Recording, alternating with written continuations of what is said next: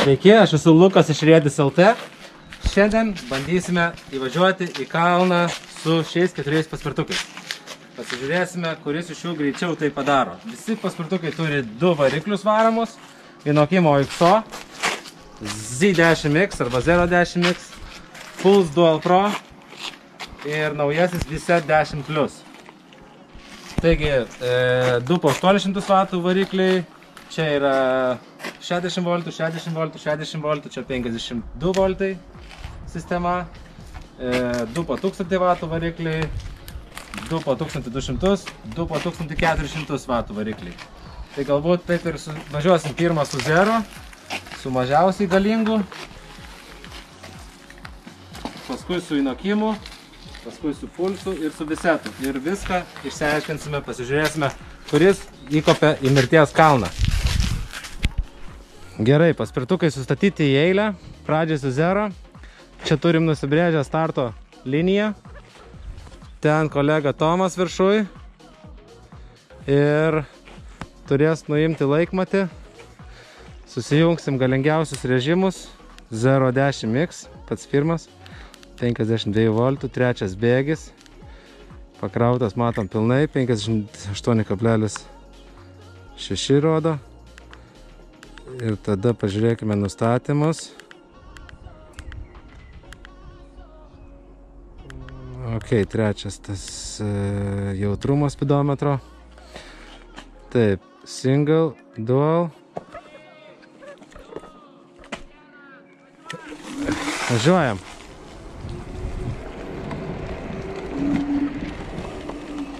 Iš naujo! Eko režimas buvo jungtas. Vat ir nelabai patinka, kai nėra indikacijos, ar turbo ar eko režimas, nematai, ar mygtukas pasispaudžia. E, visi tai tą dalyką yra išsprendę, dėja zero. Ir pulsas irgi, pulsas turi indikaciją lempų, posūkių, bet dėja, dėja šito neturime pasidarę. Eko turbo režimo. Gerai, pasiruošęs!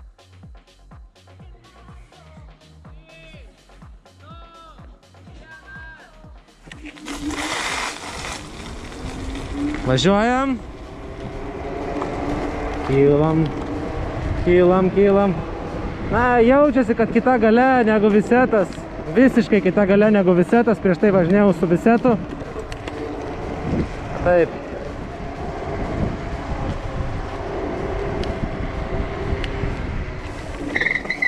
Ir kiek turim sekundžių?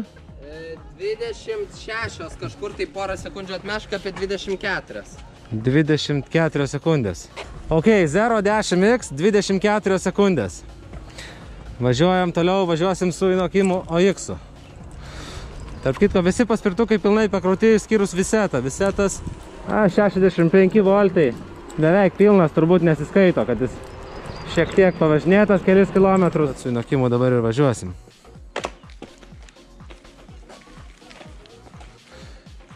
Manau, kad e, tiesą sakant, nežinau net, ar Inokimas ar Zero geriau užkils. Inokimas, gal ir Inokimas, tikiu, manau, kad vis dėlto OXO. Inokimas, E, šiek tiek kliba vairas, galima suveršti tas e, šitą vat vietą vos vos atidarius, atidarius vairą, arba paskui jau keisti tarpinę, jeigu tai neišsprendžia bėdos. E, pulsas tai iš, iš esmės mažai turi bėdų. Labai kokybiškas paspirtukas, plus reguliuojamas vairas. Visetos kol kas nieks nekliba, bet kas man įstrigo, kad jo labai vairas sukinėjasi lengvai ir kai tokie greičiai 80 km per valandą, manau, demperis yra būtinas, bet jo čia nėra. Ant mūsų pulso demperis yra uždėtas, mes esame sukomplektavę. Plius yra posūkiai, tokie, kurių nenulaužiam. Nat hidraulika, tiek tam, tiek tam paspirtukė. Puikiai kojelė. Ok, atėjo laikas bandyti Inokimo X. -ą. Jūs čia pabūkit, niekur neišvažiuokit. Aš pasiruošęs! Taip, ok, jo, startas geresnis už 010X 52 voltų. Žiūrėsime. Čia irgi įdo, įdomus faktorius. e, Nokim OXO paspirtukas, e, zoom hidraulika, priekinis stabdis, va, spaudi ir ratas sukasi, pilnai paspaudus. Taip atvažiuoja paspirtukai iš gamyklos su įvairiais niuansais, tiek įnokimai, tiek visi kiti absoliučiai. ir nieko tu nepadarysi, nes gamyba yra Kinijoje. Taigi grįšim į, į savo ofisą, parduotuvę. Teks sutvarkyti priekinius norinti tikriausiai sistemą arba surasti, kodėl taip yra, kodėl priekiniai stabdžiai beveik neveikia. Todėl ir žmonės pas mus perka ir sugrįžta, nupirkę paspirtukus, nes vos ne kiekvieną paspirtuką išpakuojam pas save iš dėžės ir patikrinam, tik tada siunčiam arba atiduodam klientui jau surinktą paruoštą. 24 sekundės 010x įveikė tą kalną.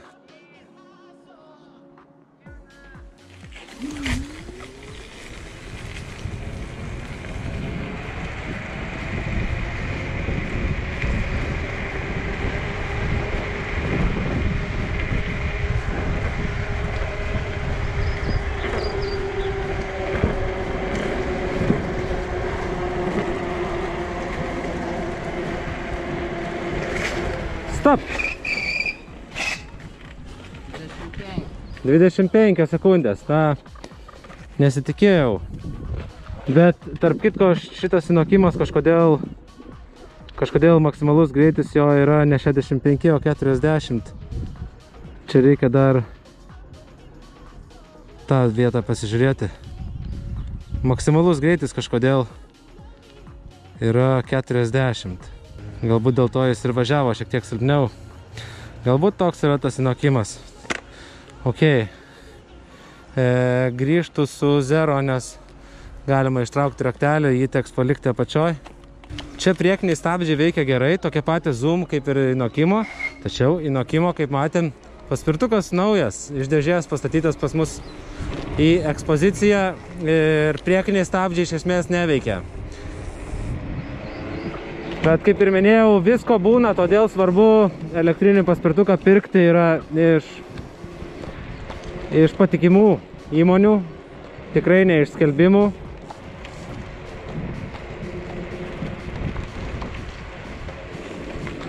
Mes patys pirmieji iš esmės Lietuvoje dirbame nuo 2015 metų. Pradėjome nuo rėdžių, paskui jau paspirtukai, visokie triračiai elektriniai, keturačiai ir, ir panašus daiktai. Iš esmės visas elektrinis transportas, įskyrus elektrinius automobilius, yra mūsų parduotuvėje. Taigi dabar e, mūsų produktas Pulsas. Puls Dual Pro, turintis demperį, turintis puikią lempą priekyje, puikų apšvietimą, gerą amortizaciją, gerą hidrauliką, gražius mygtukus. E, raktelį, kurio reikia dabar įkišti, e, turintis tą patį QS e, S4 displejų, kaip ir Zero, e, posūkius, ko neturi kiti paspirtukai ir kurių nenulaušite taip lengvai. Atvykit, išbandykit pas mus. Labai daug dirbame ties to produktų, turime kiekvieną varštelį, kiekvieną poveržlę, kiekvieną guolį, kiekvieną tarpinę, absoliučiai visas dalis puls paspirtukams Trys versijos yra puls paspirtukų, viską rasite rėdis LT puslapyje. Ok. Aš pasiruošęs, tik reikia patikrinti, ar tai yra single, dual. Ok. Turbo, turbo ir dual. Du varikliai, turbo režimas. Na, kadangi yra demperis, tai apsisukimo kampas yra mažas, va tokioje gatvytėje jau neapsisuksi. Reikia. Bet jis sukelia kitų, kitų didelių privalumų. Labai daug duoda privalumų. Galim netgi jį pastiprinti čia, tiesiai važiuosim, kad būtų saugiau. Kietumą pareguliuoti. Nes su visetu e, tikrai galia yra nesveika viseto 10 pliuso, turbūt netgi ir didesnė gal ir už pulso. Tačiau vairas taip juda, kad tarpais atrodo nelabai saugu. Plius bazė palyginam, bet man atrodo, kad vis, viseto trumpesnė bazė. Pasižiūrėkime. Visetas ir pulsas. Kol kas pulsas nugali zero ir inokimą. Kai žmonės renkasi, dabar žiūrėsime tarp šitų. Tarp kitko vakar klientas irgi rinkosi tarp šių dviejų, pasirinko pulsą. Na, abudu yra geri paspirtukai, visetas naujesnis dizainas. Na, panaši bazė, gal čia pulso gali daugiau kojos pastatyti gal nemaišo krovimo jungčių čia nėra, dėl to čia plačiau. Bet ant pulso atrodo, kad bazė yra plat... ilgesnė tiesiog. Tiek čia, tiek čia 28 per valandas būna didžiausia baterija Samsungo arba LG. Aš pasiruošęs.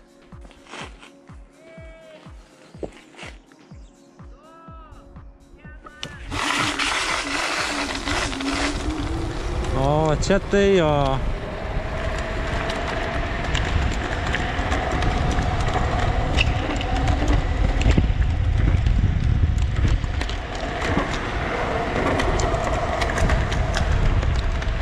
Stop.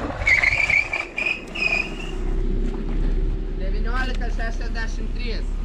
19 sekundžių. E, taigi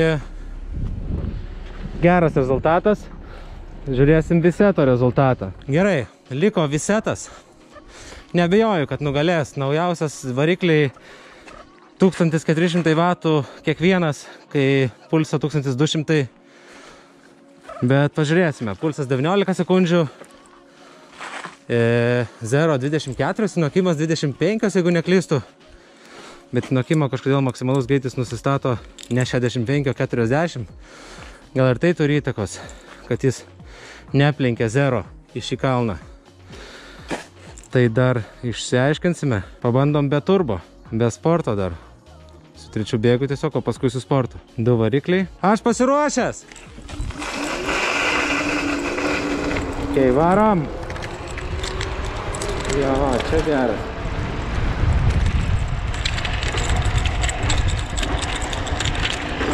Ne, bus 16. Manau, bus 16 sekundžių.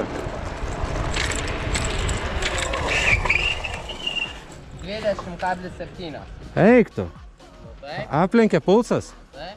Pulsas 19, visetas 20 sekundžių, neįtikėtina, bet aš važiavau be sporto. Nusileidžiu ir pabandom su sport režimu, kuris dviem minutėm prideda 5 amperus galios kontrolieriui. Prideda srovės. Pasižiūrėkime, kas yra tuomet. Taigi, be sport režimo pulsas vis tiek priekyje. Ok, realiai, jeigu yra 30 amperų, su sport režimu įsijungs penktas bėgis, dviem minutėm bus 35 amperai srovė. Tai kažkur įsivaizduoju, kad dviem sekundėm turėčiau užvažiuoti greičiau. Manau, kad bus 18 sekundžių, nors ir dabar tikėjausi, 16 netgi tikėjausi su visetu. Na, kažkur, kažkur irgi jaučiu kažkokį tai lengvą, lengvą liuftą. Aišku, suveršt galima tą, tą pa- paveršti varštą. A, Su visais pasvirtukais reikia tikrai priežiūros, reikia, kad suprastų žmonės, ką daro, kad turėtų patirties. Ok, aš pasiruošęs. Įjungiam sport režimą. Penktas bėgis. Ok.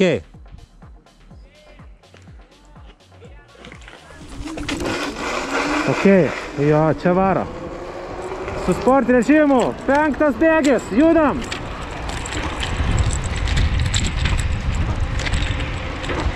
O, wow.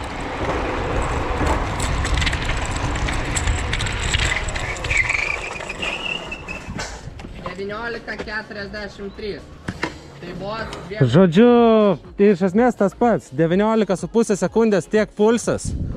Apytiksliai tiek visetas 10 plus. O įnokimas su 0. 24 sekundės kažkur. Na, skiriasi, pasirodo įnokimas, o XO greičio prasme atsilieka, bet žmonės vertina Izraelio kokybę, amortizaciją, kad Lietuvoje taip pat yra visas aplanavimas, servizas. Galbūt kažkam ir nereikia to žvėriško greičio, ką suteikia pulsas ir visetas. Daugam užtenka ir patikimo seno, gero įnokimo, kuris turi unikalią amortizacijos torsion sistemą, paimta iš tankų, iš kitos karinės technikos. Taigi, įnokimo XO, Puls 10 e, Pro, 010X, visetas 10 pliusas. Realiai, įnokimas 25 sekundės, kalnas toks, į šitą kalną įvažiuoja. E, pulsas 19 sekundžių su pusė ir truputis, neatsimenu tiksliai kiek buvo. 0, 24 sekundės, tai yra greičiau 1 sekundė už OXO įnokimą. Ir visetas 24, o 19,5 sekundžių. Tai yra 0, kablelis kažkiek tai sekundžių greičiau už pulsą, Bet visete buvo jungtas sport režimas, kuris dvi minutės tik tai gali būti jungtas. Be sport režimo, tiesiog su trečiu bėgiu, visetas viena sekundė, beveik viena sekundė lėtesnis už pulsą buvo kopiant į šį kalną. Taigi, reiškia, visetas turi konkuruoti su pulsu, o Inokim OXO gali laisvai greičio prasme stovėti prie 0.10 mix, tačiau kokybės prasme galim jį stumti prie šių flagmanų. Iš esmės visi jie yra vieni geriausių paspirtukų pasaulyje. Taigi atvykit Riedis LT, padėsim jums išsirinkti jūsų elektrinę transporto priemonę.